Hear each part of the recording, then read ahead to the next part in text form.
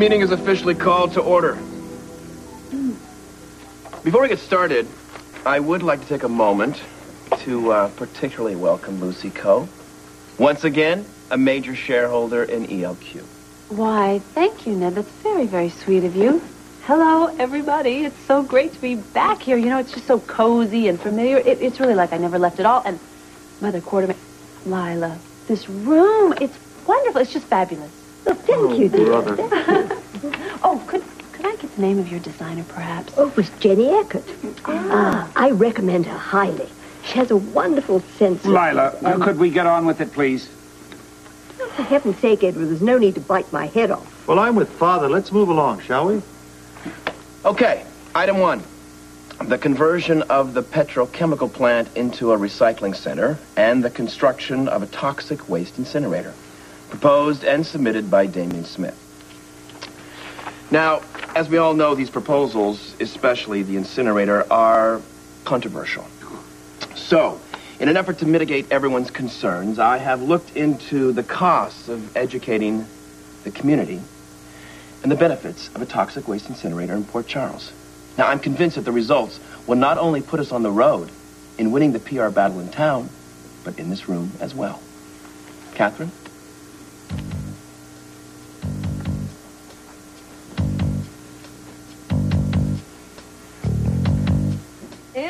Conclusion, I can sum up everything we need to do in one word. Schools. We let our children lead us into the future. Mm-hmm. By our noses.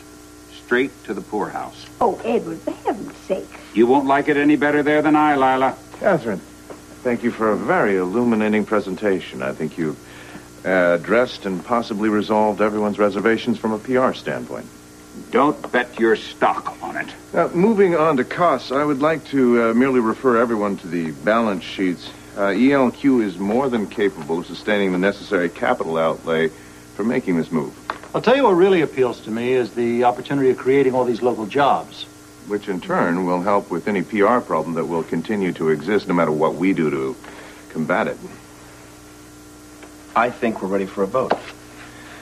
As stated in the bylaws, in the event of a tie, as CEO, I will act as the tie breaker. So, I guess it's time to uh, hop on the bandwagon because this gravy train is moving out.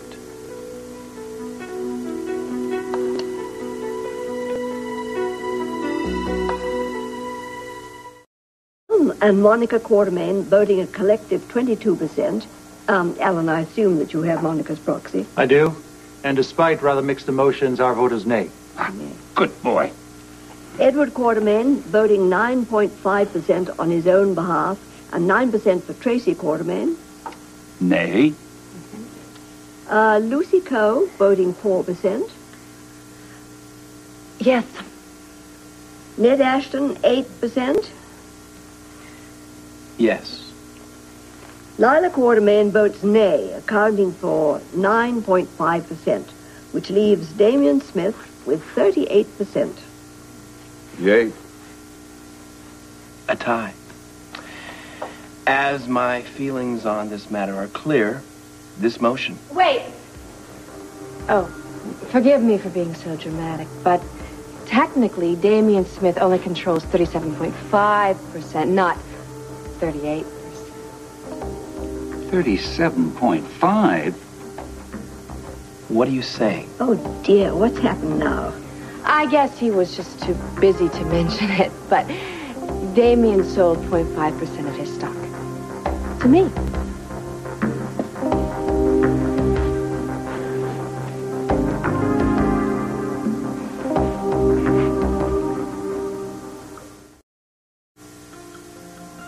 Damian, is this true? You sold stock to Katherine? Yes. It's true. And you never bothered to tell us? Katherine approached me shortly after I acquired the ELQ stock. Evidently, there was a situation with Scott Baldwin. Uh, situation? You mean that tiny little incident where you bilked him out of a quarter of a million dollars to supposedly cover his your dead husband's debts, right? Exactly. Uh, Lucy, thank you for the clarification. Uh, See, I'm not too clear on the details, but from what I gather, well, Katherine felt guilty about the money and wanted to make restitution in some fashion, hence the request to buy the ELQ stock. Now, I, I think we can all agree on how persuasive Ms. Bell can be when she puts her mind to it. You see, I, um, I happen to need immediate cash to help set up shop here in Port Charles, so I sold her the 0.5%. It seemed equitable at the time. And since then, in all the conversations and the meetings, you never saw fit to inform us of this, uh, this minor development? Forget about the meetings and conversations. What about all the times we sat together over drinks as friends? It never crossed your mind that this was information that I might want to have? In hindsight, I should have mentioned it. But you see, I... I was taking into consideration the sensitivity the family has to outsiders, having just gone through it myself.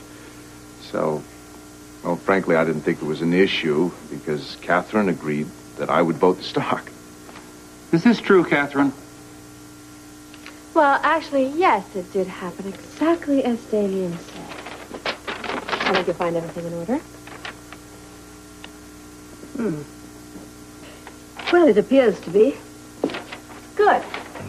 And as long as I'm here, I think that I am capable of voting for myself. No, no, no. Let's wait just She's a minute. She can't just jump in and come. Lucy.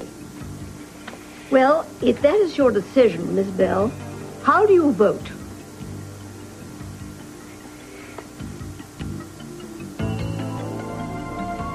Your vote, Miss Bell?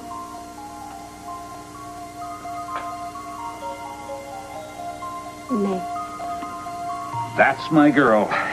Well, the tally is 50.5% against the toxic proposal. The motion does not carry. The meeting is adjourned.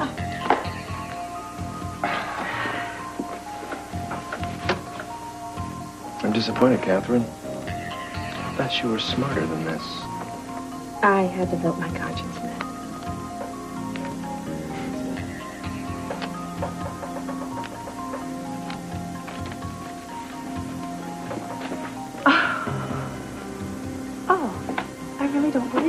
I distinctly remember introducing the two of you at Oktoberfest, and you pretended you didn't even know her. Well, isn't this typical of a witch like that? I mean, she just sails in here and tries to change Excuse all my... Pl- Can you believe this? This is so typical of a person like that. How well do you know her? I don't know her at all.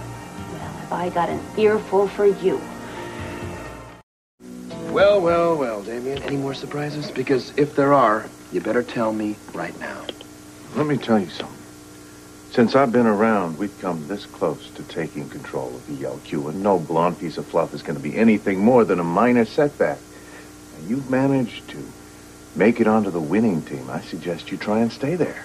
Let me suggest that you remember how you got here in the first place, pal. Stop it, both of you. You know, there is nothing that Katherine would like more than to see the two of you at each other's throats. I don't think you want to give her that satisfaction, especially when there is a very easy way around her. What do you mean? Why is it men are so obtuse about things like this? Ned, Katherine is after you.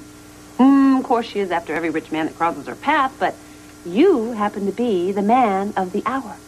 And I think it'd be very easy for you to wrap her around your little finger, what, in maybe five minutes? Why, Lucy? I didn't realize you had such a head for business. Why, Ned? There's a lot you don't know about me. I'm just bursting with surprises.